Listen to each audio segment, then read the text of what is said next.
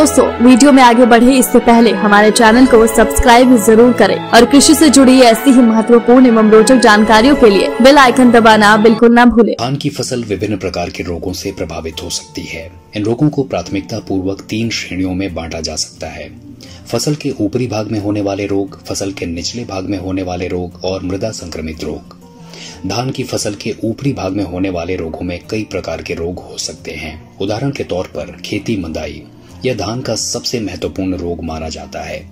इसमें धान के पौधों पर सफ़ेद, गुलाबी या पीले रंग के छोटे दाग बन जाते हैं, जिसके कारण पौधे अच्छे से नहीं पल पाते हैं। इस रोग का कारण मुख्यतः पीठी, प्यारिलोना और मैग्नोपोर्ता नामक कवकों का संक्रमण होता है। शीत, ब्लाइट या शिखा बीमारी इस रोग में धान के पत्तों की आवृत्ति पर सफ़ेद या पीले रंग के बड़े दाग बन जाते हैं। ये दाग धीरे धीरे पूरे पौधे को छाप लेते हैं और पौधे का विकास व उसके उत्पादन को प्रभावित करते हैं। इस रोग का कारण प्रमुखतः राइजोक्टोनिया नामक कवक होता है। लीफ फोल्ड, यह रोग धान के पत्तों के किनारों को मोड़कर वक्र बना देता है। इसके कारण पत्तियाँ मुड़ जाती हैं।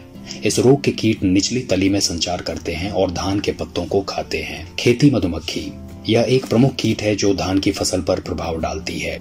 इसके प्रमुख लक्षण में धान के पत्तों पर पीले रंग के दाग, पत्तियों के सूखने के लक्षण और पौधों की वृद्धि में कमी शामिल है। धानी कीट। यह कीट धान की फ़सल पर प्रभाव डालती है और पौधों के रस संचयन को कम कर देती है। इसके प्रमुख लक्षण में धान के पत्तों पर गहरे नीले रंग के दाग, पत्तियों के सूखने के लक्षण और उन पर कीट की उपस्थिति शामिल है।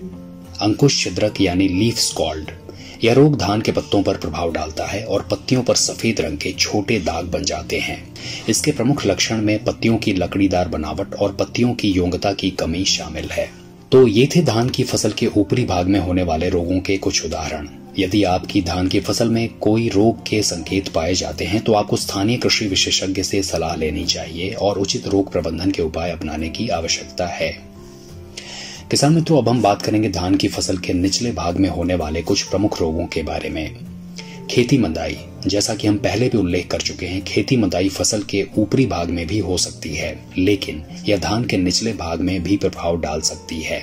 इस रोग के कारण पौधों के नीचे की तली में सफ़ेद रंग के छोटे दाग बन जाते हैं और पौधों को कमज़ोर बना देते हैं। रूट रोट यह रोग धान की जड़ों में होता है। जब यह रोग होता है तो पौधों की जड़ें काली हो जाती हैं और पौधों का विकास प्रभावित हो जाता है। इसका कारण मुख्यतः अनुस्पोरा और कोलेटोट्रिचम नामक कवक होते हैं। फुसारियम रोग इस रोग में धान की जड़ों पर गहरे लाल रंग के दाग बन जाते हैं। इस रोग के जीवाणु पौधों की जड़ों को खाते हैं और उन्हें कमज़ोर बना देते हैं। इस रोग का कारण प्रमुखतः फ्यूजारियम नामक कवक होता है। गुमा रोग। यह रोग धान की पत्तियों पर होता है।